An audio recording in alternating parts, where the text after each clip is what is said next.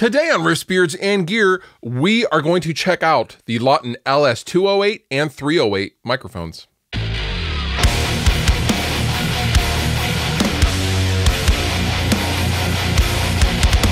So, for I don't know, I think it's over a year now, I have been using a couple of microphones from Lauten Audio on my guitar cabs when I get to play with microphones and move them around on an actual speaker cab.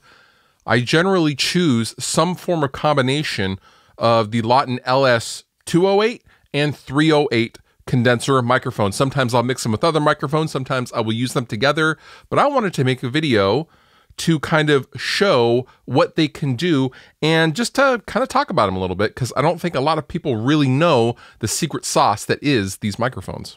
Now, before we go any further, a little disclosure Lauten Audio uh, sent me these microphones over a year ago and I never really made a video about them. Uh, they sent them to me because A, they're very, very nice people. Um, but I'm making this video because I just really like these microphones and I am not being paid to do so. I just really dig them and wanted to share. So while the LS208 and the 308 do share similar features, especially in the uh, the low pass and high pass switches that are right on the microphone housings, they do sound pretty different from each other, and I'm going to start with the LS208.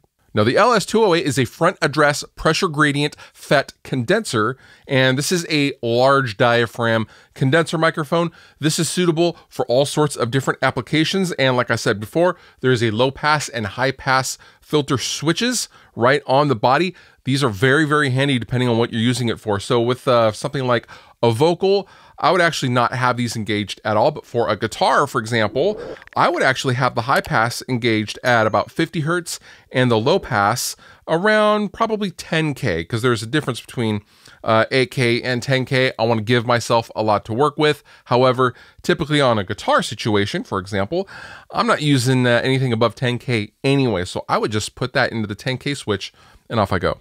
Now, the frequency response of the LS208 is 20 hertz to 20 kilohertz. And honestly, this is a very flat sounding condenser microphone with a little bit of sprinkled uh, goodness up in the top end. Nothing drastic, but this sounds fantastic on a guitar. Now, I'm going to go ahead and pair this with a 308, and I'm going to toss this in front of my Mesa Boogie Vertical 212. I'm going to show you how it sounds right now.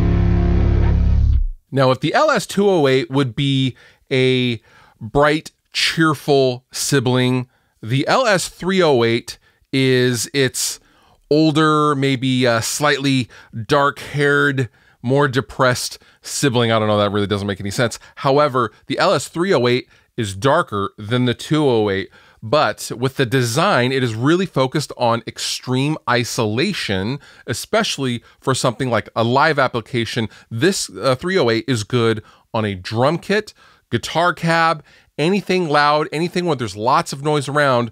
The 308 is going to reject it like crazy. And the trade off for that design is it sounds very dark. It almost sounds like a ribbon, which is really, really awesome. This is a nice, smooth, yet flat sounding condenser microphone. Side address, not end address like the 208, but the 308 for me it has it just has that really huge body that I often use when I'm using it with something like an SM57, for example.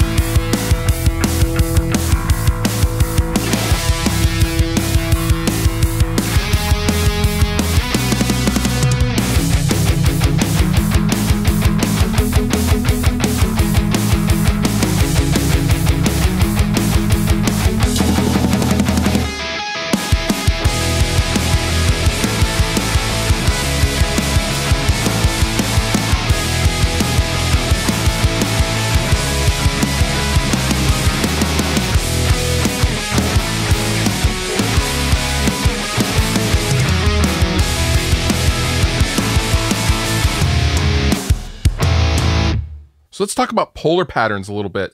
The uh, LS208 is a standard cardioid polar pattern, whereas the LS308 is a second order cardioid pickup pattern. Uh, this is a very, very tight microphone. It is laser precise, whereas the LS208, you can absolutely use this for a lot more things and not have to be as precise. This is also a great broadcast microphone and also good on things like acoustic guitars.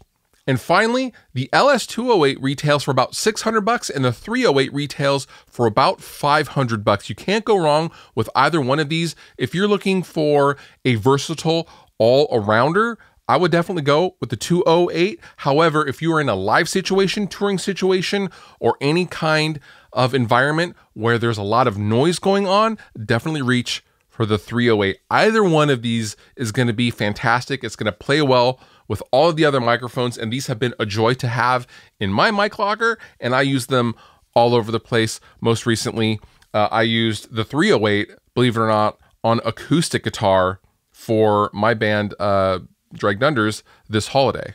I will link down below in the description if you'd like to know more about all things Lauten Audio. And with that, you've been wonderful. I've been Fluff. Thank you so much for watching, and I'll see you next time. If you liked the video you just watched, please consider subscribing. And if you want to further support me and what I do, consider using some of the affiliate links down below in the description of this video. Go on over to Sweetwater, buy yourself something, and help me out at the same time. It's a win-win for both of us.